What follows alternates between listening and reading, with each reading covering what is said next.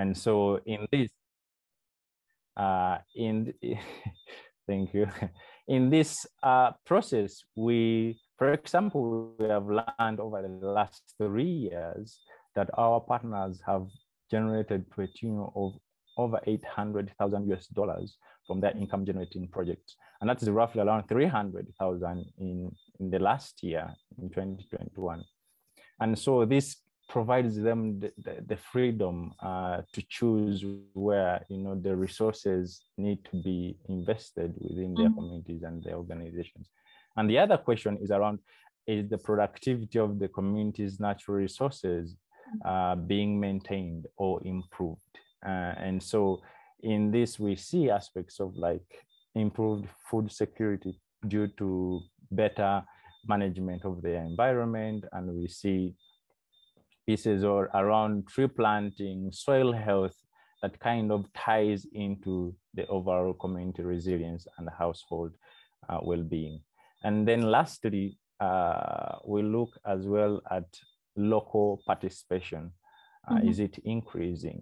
And in participation, we actually look at how many people are engaged directly in our partner activities. And like for the last year, we had over 20,000 people actively participating, either through employment or through uh, programs in healthcare, in education, some are teachers, some are uh, support staff. Like there's just a array of opportunities and possibilities that uh, our partner organizations are creating within their communities. Mm-hmm. Yeah. Thank you. I think that that's such a wide array of things. I do have a lot of questions for you, but I know a lot of people are joining in right now. So welcome again. We are right in session and we're really getting and diving deeper into turning more than a buzzword for the word that we've been hearing and seeing everywhere localization, community development. What does it mean? How do we go beyond and actually put it in practice? Uh, so thank you, Dennis. I think you've touched upon a few points. I will say I have one quick question because you just talked about it right now. But what are community leaders really? Do they exist beyond Mama Hope being there? What is it? What who are they? Can you, can you say that again? I yes. Who are community leaders? Ah, yes.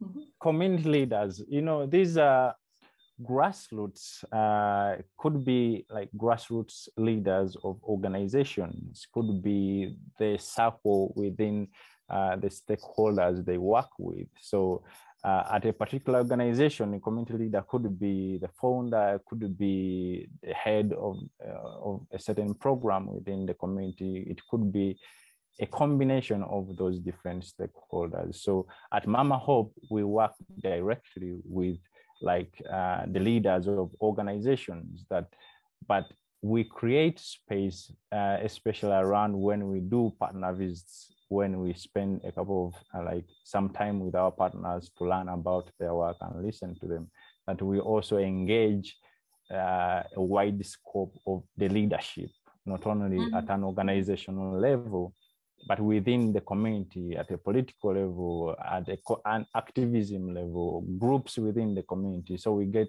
space and opportunity to have conversations and learn how they uh, they are creating change for themselves and their communities. That's great. And I think that gives a big picture of what we're trying to define. You need a definition to know where you're going, right?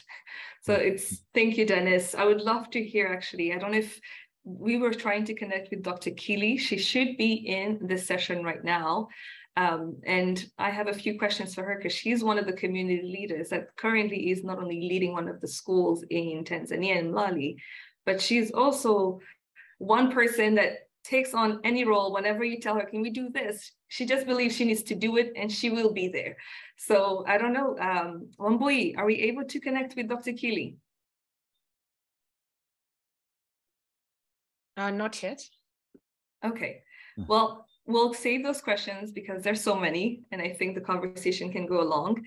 Without hmm. further ado, I want to present Giribo Tindwa, who's also in Tanzania. He's been one of, he's always smiling, as you can see, and he's been trying to change and shift the mindset um, of what we call the big global north. How do we actually make it a world that is united rather than global north and global south, right? So I would love to hear from you, Godibo. What is efficient community-led development? Hmm, great question. Thank you. And and and I'll start with um, uh, with just a bit about Dr. Kilness. I got to visit Dr. Kilness, and you're totally right. She's the the perfect impersonation of community-led um, leadership in, in her community. I got to see her school, and she's exactly what you say. She's doing everything around the community. Now, when it comes to effective community-led um, leadership, you you I think when you were introducing the concept, you talked uh, about how Mama Hope um, tries to learn and understand their partners. So mm-hmm. that comes from a place of trying to understand uh, the self part of the organization, right? And you're reaching out to the communities that you work with to try and understand what are the the pressing needs. And I can give you a quick example here. In in in Tanzania, there was a time um, there was a community that didn't have a lot of water. Um, um, an international organization went in. They figured, oh, the biggest problem here is these guys don't have water. So they dug boreholes, they dug up pipes towards their houses. And then surprisingly, a day after launching the program, the villagers act actually dug up the pipes and went and sold them. And so the question was, if they actually needed the water, why would they dig up the pipes and and you know and go and sell the uh, the pipe uh, the water pipes? So I think effective um, community-led development has a component of first getting uh, the decision making along with the accountability system established closest to the people that are being affected by the issues and when when that is missing then it's not effective and it's not uh, community led um, i think dennis was talking about uh, uh, different concepts here and uh, and i think it comes when you when you, when you spoke uh, about trust it also comes with uh, that level when you define a community led um, champion and i can look at it from two different perspectives uh, we can look at it from the perspective of Dr. Kilines, who's working directly with the communities, but we can look at it from uh, the perspective of people uh, giving support.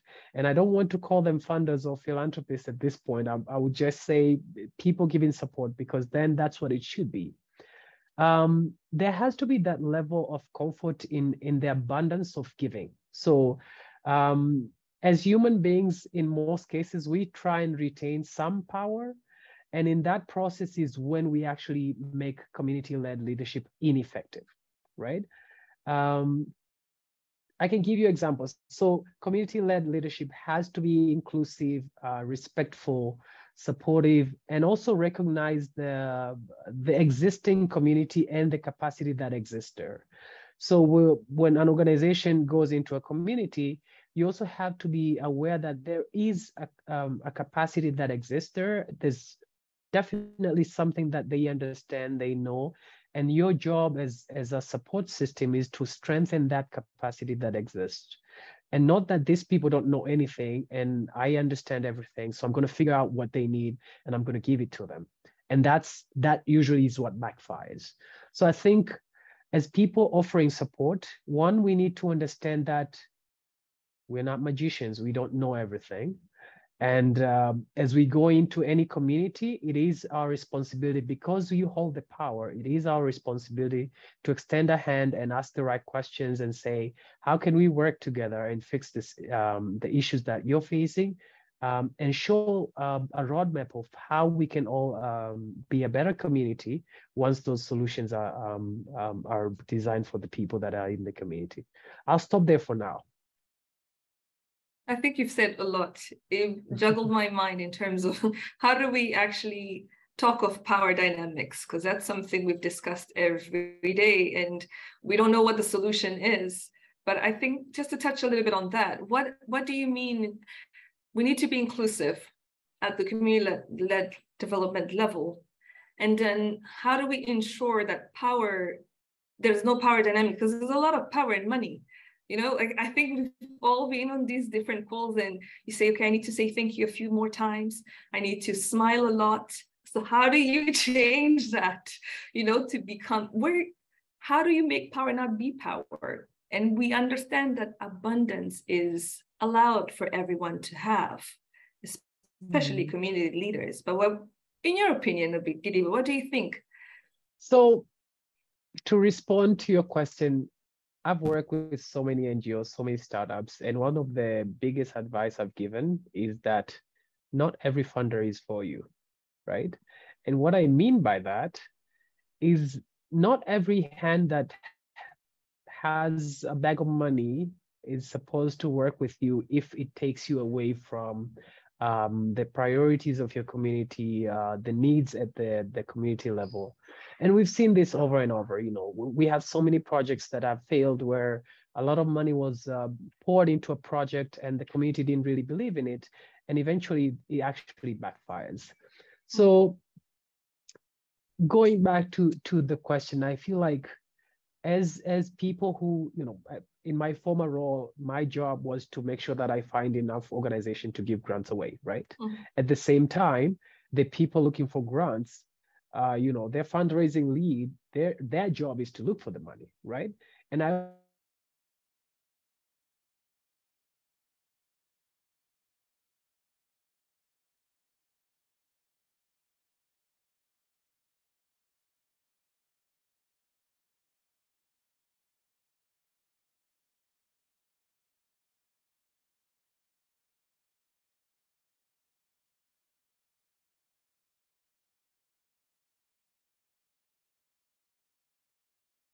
in most cases uh, with Zoom I life. love technology. um, yeah, so it does affect how we make decisions. It um, it affects our relationship, and then the power dynamics kick in. And and when you when you meet uh, money where uh, the self reflection is not in the right place, then money is used as a tool to drive the community where it should not be going. 100% agree. This there's a lot of power held in. I think I see Dennis saying yes and smiling. yes, and yes, that's I think yes. that's something that's a unanimous conversation, whether it be in Rwanda, Guatemala, you, Kenya, Tanzania, anywhere in the world, where, where there is money, there's power. And I Yeah. think Mhm. we need to be able, as our role as Mama Hope, to center back the power where it needs to be with communities themselves and those that are there every day. Um, and I think that's always my biggest inspiration because I know our partners are there every day. They don't take a day of rest. They take a deep breath and just go on to the next task and what needs to be done. Yeah. Um, at least I would love, as I know a few people were not able to see the video that we have shared in the beginning, as I mentioned uh, when we started, we have a lot of partners at Mama Hope. We have currently 12 partners. We speak different languages. A few of them are actually in Guatemala. And with my little broken Spanish, we're able to communicate and at least drive the change where it needs to be. Um, one of our partners, Sutil that has been working to conserve and preserve their Mayan culture for the past 20 years, despite conflict, war, a lot of um, a lot of unrest, has found a lot of solace in training younger children to be proud of their identity because you must know where you come from to know where you're going, right? Um, so I would invite Wambui to share that video again. And of course, as different as it is, it is what community-led development is. It takes different shapes, speaks different languages, and it's beautiful.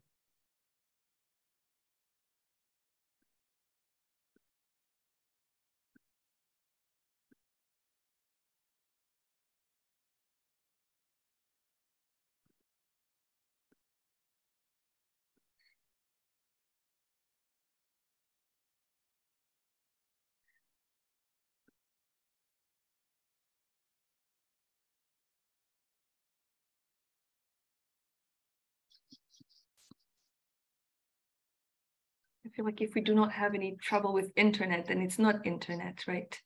It needs to be few, just like spices on food, there needs to be a few hiccups in Zoom. Oh, great. It's starting to share Wambui. We can hear some sound, but I personally cannot see the video.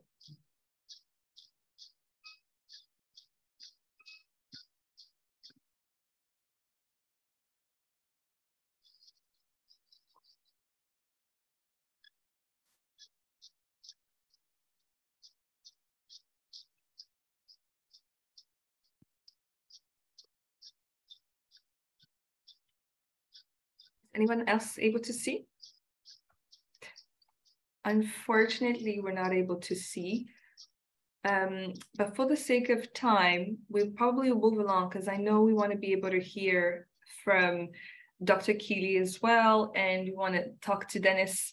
And there's a lot of things that we want to talk about. And I would love to give some space to our attendees to actually ask questions because I think those will be leading our conversation as we go on to the end of the year. And we want to be able to have a, a clear idea. I think the good thing about what we've been able to achieve in Mama Hope is to constantly question the work that we do so that we are able to tailor it to each of our partners. Um, so I am going to actually connect with, this is the beautiful thing about Mama Hope, is that we adapt to everyone. I'm going to currently call Dr. Keeley on WhatsApp and connect her and let me know if you're able to actually hear her. Um, just give me a second.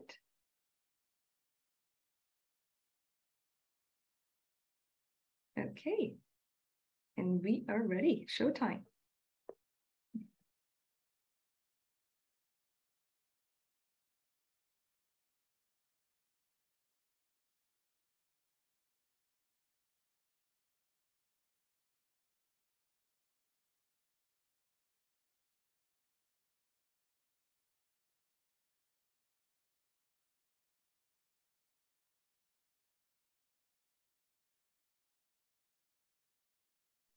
Think she's still connecting. But in the meantime, I think I would like to go back and connect with you, Dennis, because you talked to Gidibo talked about sustainability. Um, and I know we have a different vision and Mama Hope of what you talked about income generating projects, uh, the environment, and all these different aspects that we take into account for sustainability. Can you tell us a little bit about what we mean um, with the investment that we make because i think we always say investment. We invest we don't talk about charity. We're investing. So yeah can you share a little bit more about that? Yeah thank you miley. And i think uh, even just before that i think Gidibo touched on a couple of things uh, which are really interesting and i think uh, around power dynamics. And i just wanted to share a little bit on that as well that you know, in terms of uh, community-led development, uh, there is a lot of um, changes that happen in the community, not only at a, at a community level, but a, a personal level, at the household level, national level. And so uh, flexible funding is such a powerful uh, approach within the realm of power dynamics because I think it kind of encompasses all those dynamics and changes. Uh, you know, what might work today according to the strategic plan, to the work plans, all the planning in the back in the background, things kind of take turns and change. And so if you are not changing alongside, uh, as well as in terms of how you allocate your resources, then uh, the, the impact turns out to be short-lived. So I think in terms of power dynamics uh, tied to resources, there is uh, in our space uh, of community-led development, there is what we treasure a lot as flexible funding. And so back to the question around investment, I think in the business world, you know, investment, you're expecting something in return. You are expecting a return on, on your investment. And that is mostly in terms of money. And what we look at at Mama Hope, uh, we invest mainly two categories of things. And one is around resources that could be human capital, that could be money, uh, but also the passion. And so from the, from the resource perspective, when we invest in money or um, human skills in supporting, uh, providing programmatic support to our partners, our return in investment on the other end is the actual change that is happening in the communities they serve. And the change comes in terms of like health service users or safe deliveries or kids attending school uh, clean water, access to clean water, and you know household income. That is the return on investment uh, within uh, the spheres of community-led development.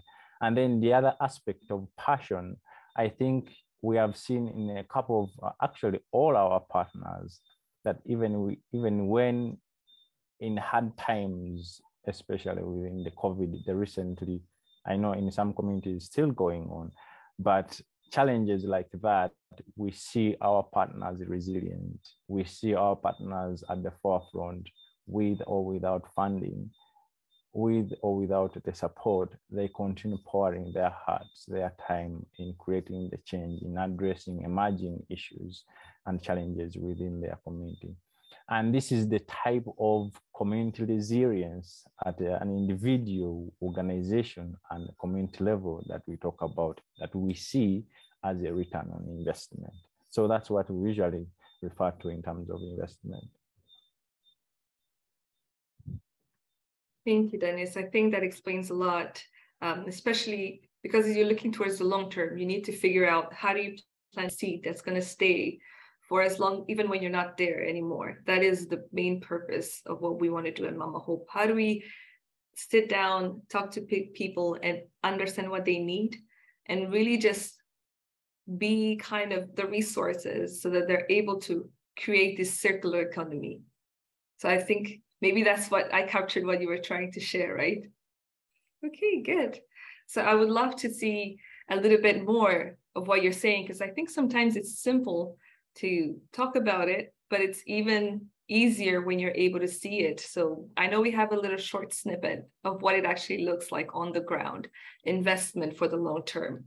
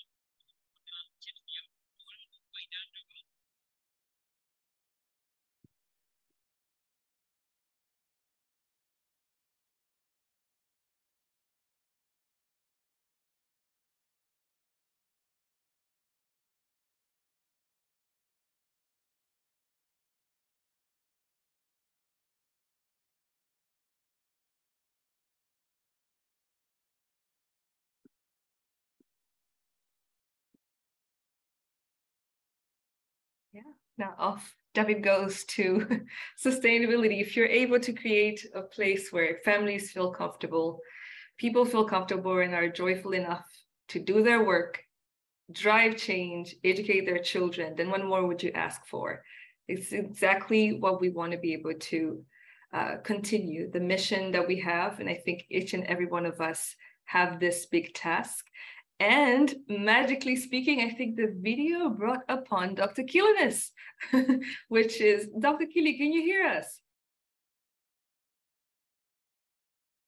I think if we got oh, yes. Oh, good. At this last. Is amazing. At last. I know. It's lovely to have you.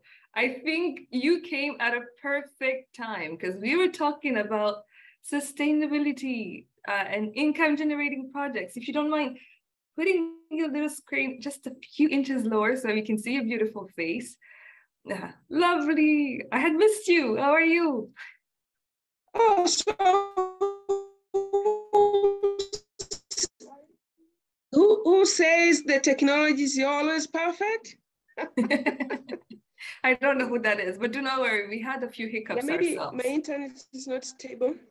That's okay. Maybe if you want, wish you can even take your video off. But uh, perhaps for the sake of time, I'm just gonna. I had we have so many questions for you, but I'll just shoot one for you in terms of so that I can, in case the internet is not too good, right?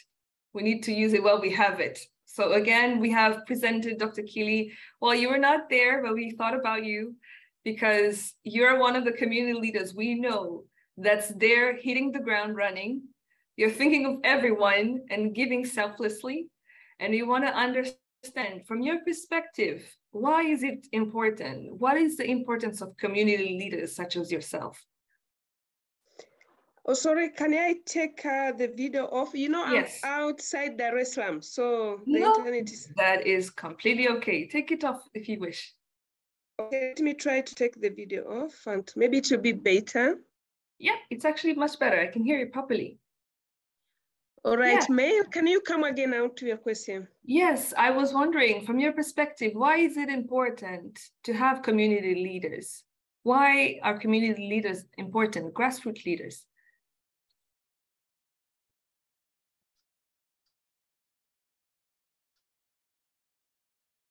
Were you able to hear me, Dr. Keeley? Oh, again, it is uh, stacking a little bit, but I think I, I heard you. Mm -hmm.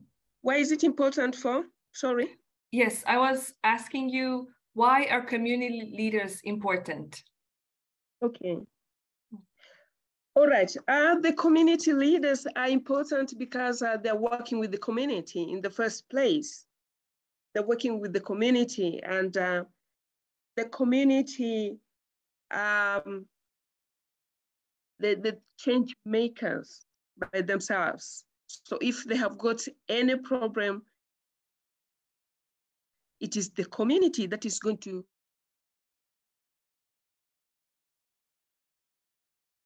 Oh, unfortunately, is a bit of a cutoff.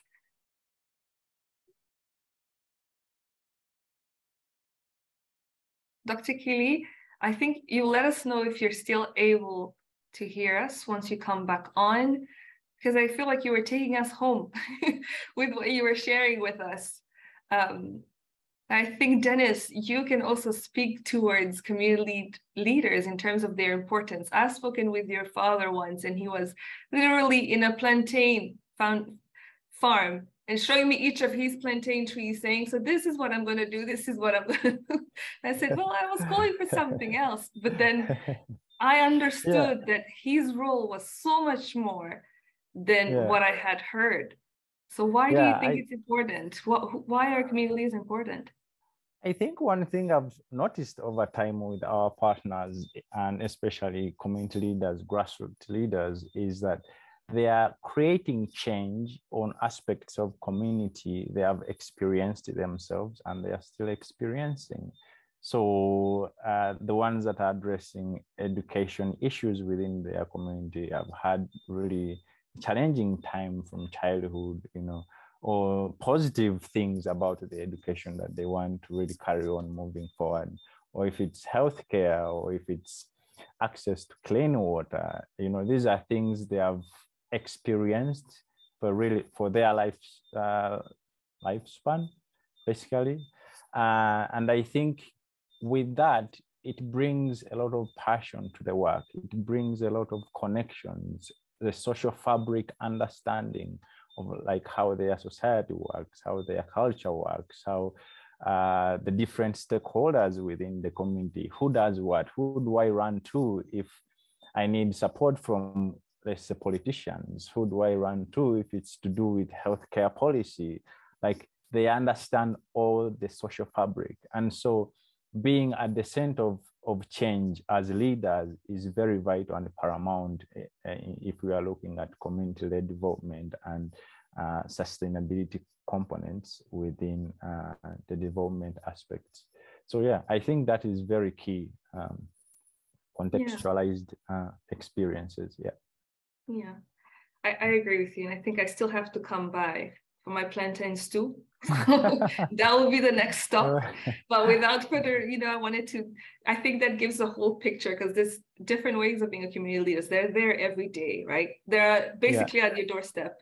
And I think right now we're having so many troubles with internet, and I wish I could apologize so many times, but it is actually, I'm thinking serendipitously that it is this actually portrays what the relationship is that we currently have every time you say with a funder or anyone else that's the power dynamics. This is what it is. Internet is showing us. Basically i see everyone laughing but i think you're agreeing with me that we are always there's always this distance and we're trying we said okay internet is going to close the gap. But then we're not fully able to connect. One we said okay we we miss the in person but then when you come you don't speak the same language. And then there's this whole back and forth and then internet doesn't work right? It just does not want to cooperate for some reason. Whatsapp doesn't work and all the other things. So i think dr kili do not worry at all. Network problems are i think at the bottom of the list and they happen all the time but they're pretty telling i think when you want to connect with people especially in the space of philanthropy and community leaders these are the problems they they face every day it's a bunch of cold emails that sometimes do not ever get answered. So we're hoping that we can get to answer all your questions and feel free to add them in the chat. I can see a few questions and I'm gonna address them to some of our panelists here so that we're able to actually start getting some of the guiding points for the future conversations that we want to hold. This will be a series of webinars where we can call into the attendees to actually talk to us. Um, one of the one of the attendees actually talked about what is the most important point to look at for an organization when deciding where to invest uh, your funds. So I'm assuming that's one of the person talking about um, how, for example, Mama Hope does it, but other people in the philanthropic world or whatever else you want to call them, Kidibo. So maybe on to you. How, what do you think organizations actually look like since you've been behind the curtains? What actually, what is the conversation there? Um, it varies a lot, and I think for more progressive funders, um, the conversation really relies on um, what is the organization trying to achieve. Uh, but if you look back into like you know traditional funding systems, the support would come with like milestones, like ABC is what you need to do, and that's what you're supported to do, right? And that has its own hiccups. I think when Dennis was talking about flexible funding, and you know, um, uh, in recent days we've seen things like matching funding as well, to allow communities to be able to um, scale, but also at the same time build sustainable uh, sustainable systems for them to grow over time. And I love when Dennis was talking um, about numbers. He mentioned like um, some of the investment that has been done to grantees are, has reaped over you know three hundred thousand dollars. That's that's sustainability in the bank, not not in some piece of paper in the shelf, and that's a, a totally different ball game, right?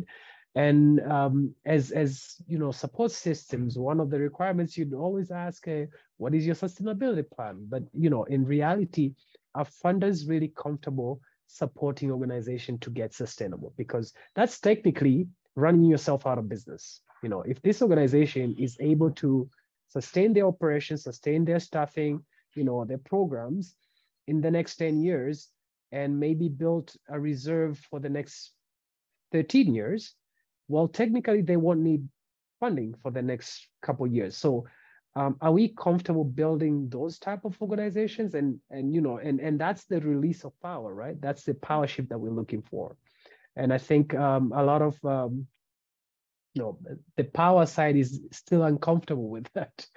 Um, yeah, so I think it's a slow process that's uh, slowly changing, uh, but we'd love to see that changing much faster. I agree. I would love to see changing tomorrow. let's let's hope for for a faster process but i think as we go along this is a process like you're talking about so we're hoping that we can learn from the mistakes so that we don't mm-hmm. fall into them anymore as we go along this journey. I think there was a few questions about decision making and how what that means. You talked about matching. I think matching gifts. I know I've seen a lot of campaigns since I'm a fundraiser, where it's for every dollar you give, we're gonna give a mm-hmm. dollar to this X and so and so that in the, it's in in the community. I think I often find it problematic because in my mind I'm thinking, okay, one dollar um, is gonna you're gonna give one dollar for each dollar that you get, but you're not sure you're going to get it. So I, I, don't understand where the concept is. Um, and I think we have the tendency to bend ourselves to all these different reports and, you know, ABCs. And like you said previously, we get lost along the way. Um, mm-hmm. and um, we're hoping that this process changes, we break the barriers. But in terms of decision making, perhaps, what would you love to see changing, Dennis? Yeah, in terms of decision making, I think a, a, couple of things have been mentioned already by uh, Gidibo, but I wanted to look at it from you know a Mama Hope perspective in particular, where we uh, view these these decisions in in the lens of relationships. Because before you make the decision, you really have to understand what you are deciding about, and for you to understand, that means you need to have listened and really gathered all the information you need to base your decision on. And so I think one core thing uh, or aspect I want to uh, fall back to is around the listening. And I know uh, there are a couple of things that are guiding guiding uh, aspects for Mama Hope in terms of how we make uh, the decisions. And one is always, always the listening part, but also that uh, the decisions we are making or collectively with um, grassroots le- leaders are actually embedded in the fact that the organization or the, uh, the group that we are trying to support is actually rooted and is part of the community itself. And I think this is a very important piece um, as well. And so I think those are, the, the, I just wanted to highlight the idea of, of listening because you you you will be just uh, challenging to make wise decisions if you do not have the right information for which you are basing on to make the decisions. We are all in agreement. Listening takes it, it, it actually is hard to listen. I know I have children, so I know to get myself listened to takes a bit of trick. and into the adult world, it's still the same thing. How do you listen? Because it's something we need to learn every day.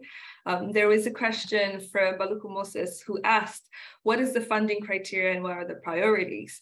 Um, I, I can speak to Mama Hope um, funding criteria. We do not have specifically a funding criteria as other um, you know, as other organizations have. We really are looking for community leaders that are already a part of the community because not only are they held accountable for their actions, they are there every day. We know that they exist beyond whether or not we partner with them. And that is what we truly are looking for. They're people who are there. Um, they were there even before we got there, basically. And they're there when we are not present. So that is the funding criteria in terms of they are grassroots leaders that are truly rooted in their community, because I think that is pretty telling the numbers that Dennis was talking about. As we continue our partnership, because we never truly end our partnerships, even if it's not funding anymore, we're continuously learning from our partners. Um, there is a period where um, this funding criteria or partnership criteria changes. Everything needs to change and always shift, and that is important, I think, in philanthropy. In terms of priorities, we say we take a holistic approach because what we've learned with our partners is when we went in for education, they said, okay, well, children need to eat. They're not going to go to school without food. It doesn't make sense. Okay, then we need to figure out how we're going to talk about food security. How do we talk about agriculture when you talk about food security? When how do you talk about energy? How do you put solar panels on the school so that whenever there's a power outage, the kids still have electricity when they're in the dorms? all of these different priorities change, increase, or decrease depending on each of our partners. All of our partners are very different. Some of them are in the arts and preservation of culture, some are in education, some are rehabilitation centers. There's no particular priority because we think that when you're a community leader, as Dr. Keeley, you're wearing so many hats at the same time, you're just piling them on. There is no such thing as okay i'm going to be the teacher today. You are the teacher you're the mother you're the sister you're the nurse you're everything at the same time. And so that is truly the vision that we try to embody when we're funding uh, we're flexibly funding our partners. So i hope i answered your question moses i don't know if there's anything uh, people you would want to share in terms of some of these funding criteria that you've seen around that people would want to consider. I know money is a big conversation starter for a lot of people. so yeah, feel free to jump in. Yeah, I mean, just to add to your to your point, uh, I think in terms of funding criteria, it's kind of a natural step.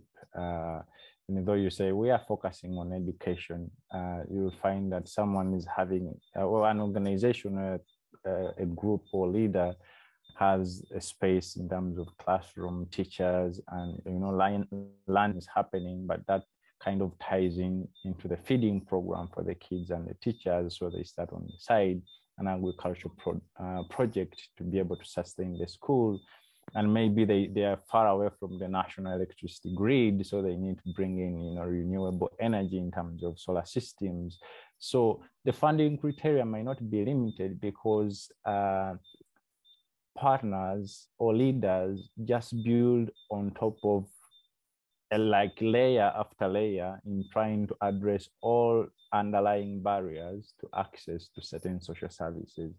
And so uh, Mama Hope approaches it from that lens that you know it's not a one shoe fits all kind of solution. It's it takes time and it kind of varies and and and shifts shape shape shifting depending on circumstances yeah mm-hmm. yeah i think that that really yes yes go ahead Kiribo. No just to add on to dennis i think the approach that mama hope is using is is really centered on the community and and it's people centric uh, compared to um, I, I guess having having criteria would usually be a way to say no, right? You have a list of things, um, check, check, check. If this doesn't check, then this is how we say no. Um, but I think the approach here is how do we uh, find a way to support this community? And that's um, the approach that Mama Hope is using. Having having visited a lot of NGOs for like uh, you know um, diligence visits, if you go in with a lens that you want to see what is not working, you will find plenty. But if you go in with a lens that you want to find the good things that they're actually doing and you want to find a way to help them, you will also be able to um, to see those as well. Mm-hmm. Yeah, I totally agree. Um, yeah, Annan in the chat is actually asking as well. I think it relates to, to what we were talking about. How can organizations such as Mama Hope amplify deeper the community-led voices in the philanthropic spaces? So I don't know, Girivo, would you like to connect this question to um, to answer to Annan? Mm-hmm. I think uh, one of the things um, Mama Hope or any other organization for that matter that is like Mama Hope can do in in uh, in these situations is one um, I think money is not the only support system that NGOs or startups would need, right? So it's how do you build um, an ecosystem, an environment where uh, this organization can thrive. So um, as um, Miley and Dennis have mentioned, Mama Hope listens. So it listens to the communities, it listens to, to their community leaders. What are the burning issues in their communities? And, and they use those as, as catalyst to design solutions.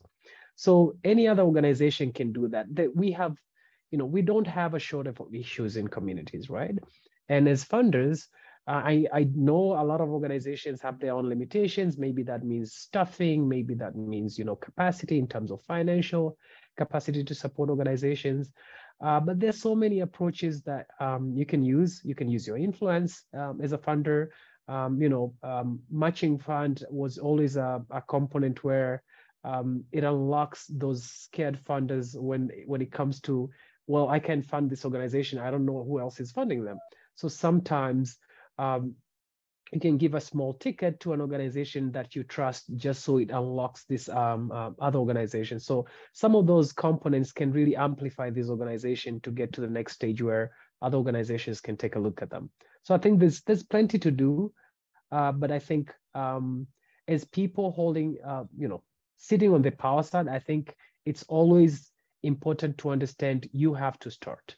You know, it's the same way, um, you know, when you go to a conference, uh, as as as the people holding the cards or the power, then you start those conversations. Then you reach out to the community leaders and say, "Hey, what are you guys doing? Um, how can we support you in your environment? How can we learn from your your issues? How can we build um, better solutions for you or other communities that we're working in?"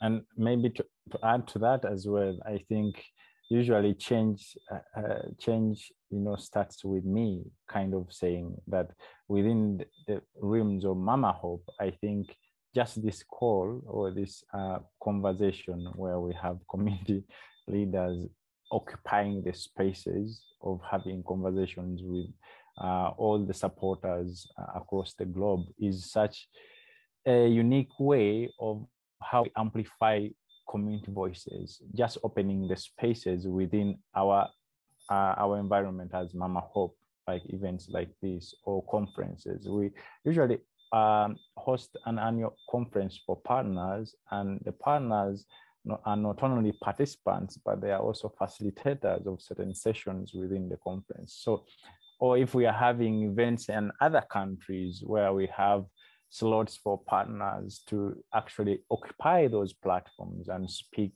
um, for themselves. So those are kinds of ways. But beyond uh, our Mama Hope structure, we, we, you know, there are possibilities of you know engaging other like-minded organizations like you know mama hope has been involved in a couple of like task forces that are within the realm of community-led development, but also outside of it, where this is a constant conversation in those spaces. And so that kind of broadens the reach and network through which uh, advocacy for community-led development kind of takes root. Mm-hmm. Yeah, I think you've touched on all the points I was probably talking about. We have just a few questions. I know we're almost at the end and at the top of the hour, um, so that we will be wrapping up our session. And there's so many things. People are getting riled up and wanted to ask more questions, but not to worry. We're always, you know, within a click, you can actually reach to us any one of us on all of our platforms. We're very interactive and we want to get this interaction going.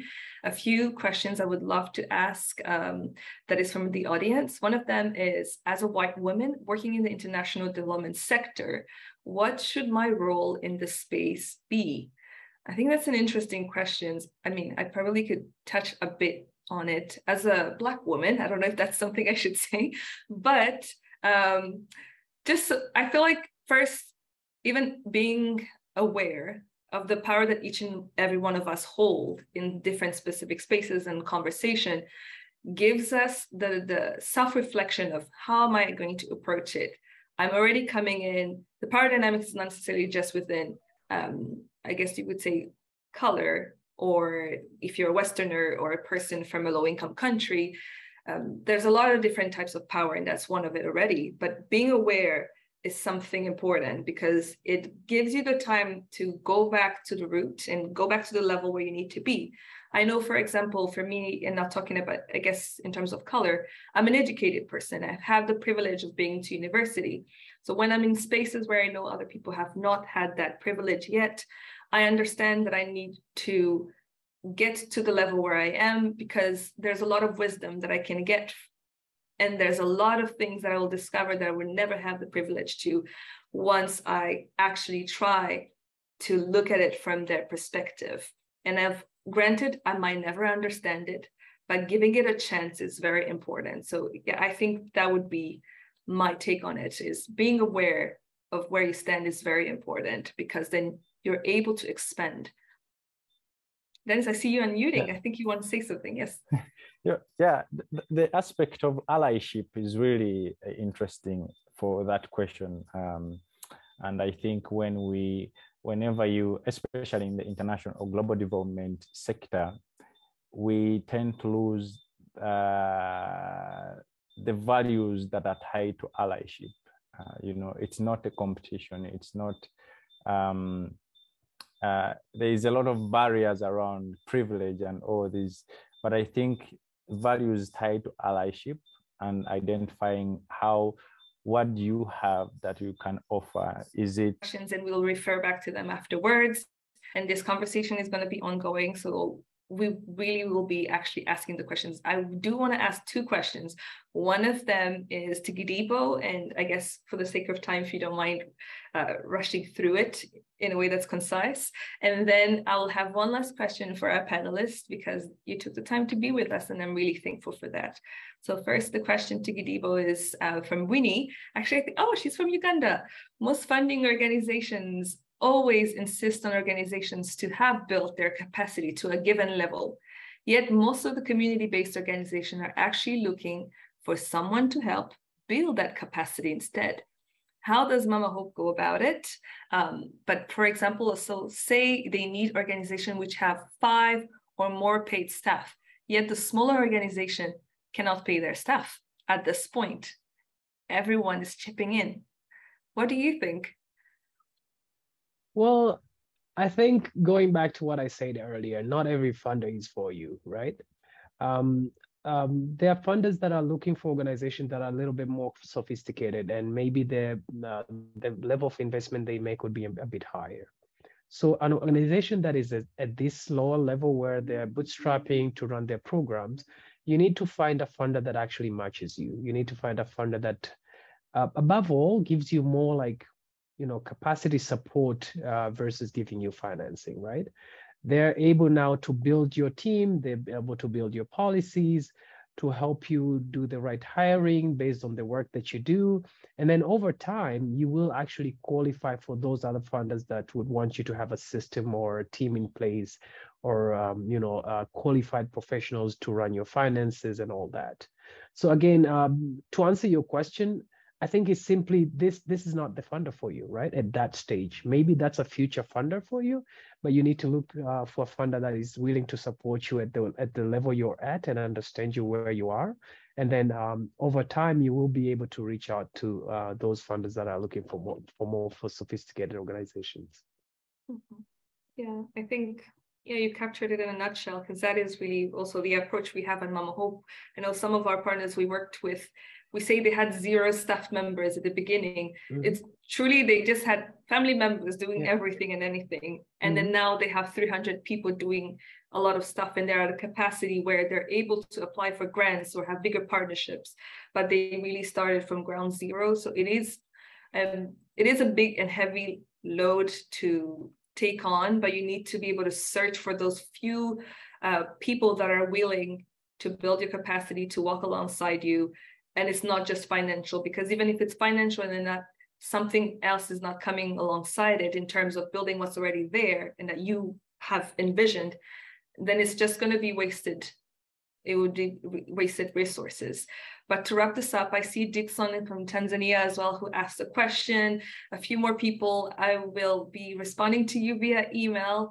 And of course, you can even interact with us on our different platforms or on LinkedIn, Instagram, Facebook, you name it, we have it. So you're able, you should be able to contact us at any point in time, and I will make sure to be able to answer your question. But to wrap this up, I would love to hear from each and one of you because I know this is a a time of day right now it's the evening because i could hear the crickets on your side dennis which i miss a lot.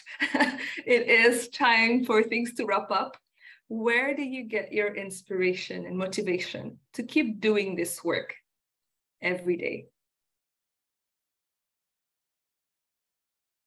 Do i go fast? Okay. Yeah, go ahead dennis. You tell and then Gidibo, yeah. yeah. So i think uh, my inspiration is, has always been from my own experience um, at so many levels.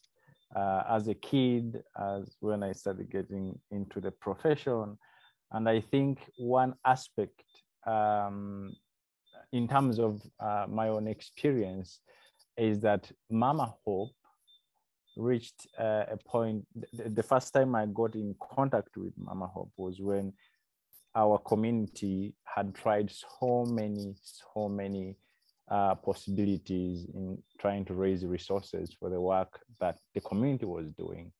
But we are just outside the structures of, of, of international development, the, the paperwork. and this is the organization that took the time to just spend three days not talking about paperwork not talking about plans but just listening what what we are doing i think that was a very uh, important aspect or that kind of moves me is that there are always people that are willing to listen to you and that resonate with you that resonate with your work your ambitions. And so that hope that that space is there always keeps me going. And that we have so many challenges within the globe but we also have we equally have a lot of opportunities and people that are willing to chip in and support our strives thank you I'll connect mine to my day today. So um, I was out in uh, Monduli. Monduli is a remote um, from Arusha town. It's like two hours from, actually one hour from Arusha town. Very about, I would say, a hundred kilometers, maybe less.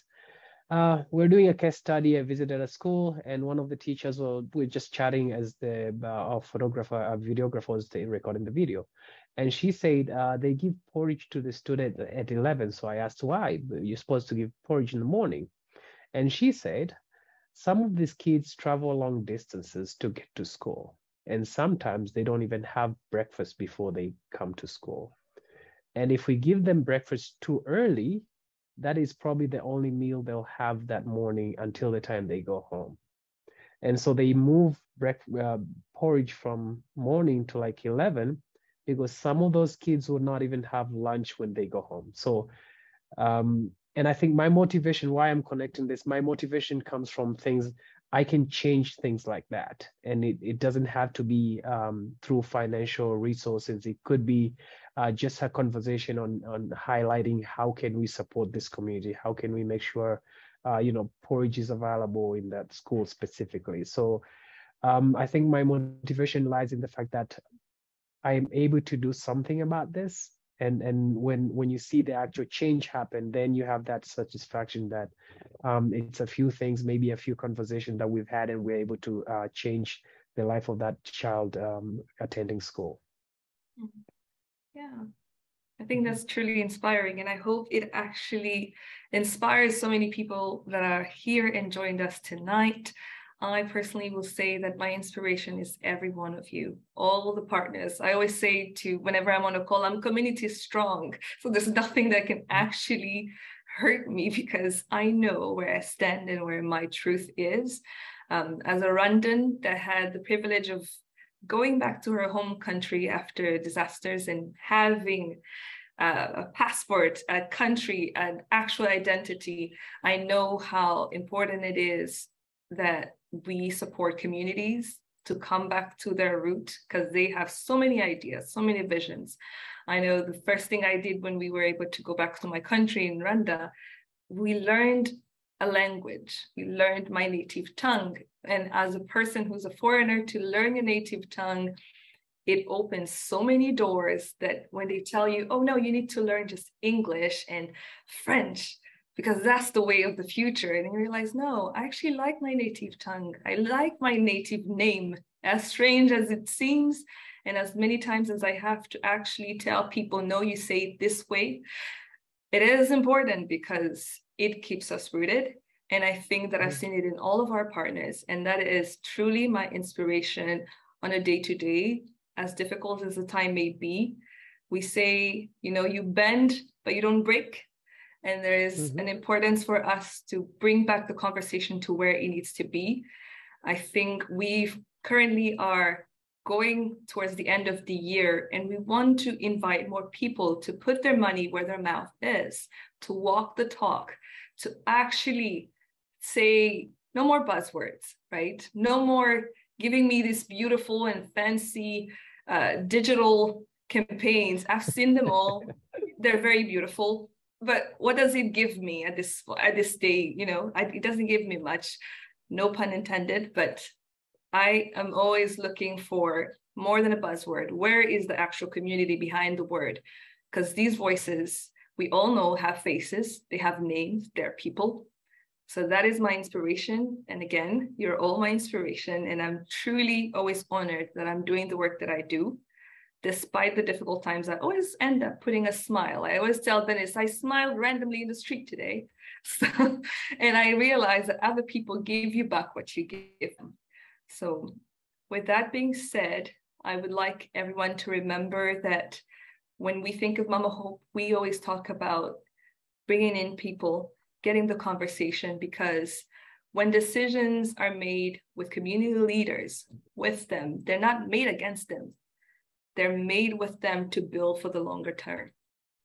With that being said, I thank you, Idibo, thank you, Dennis, and thank you, Wambui, for trying above and beyond and being the person in the background with the icon of Mama Hope and making this possible. I'm truly thankful for all our staff members that were able to put this whole work together to be able to bring this conversation to life.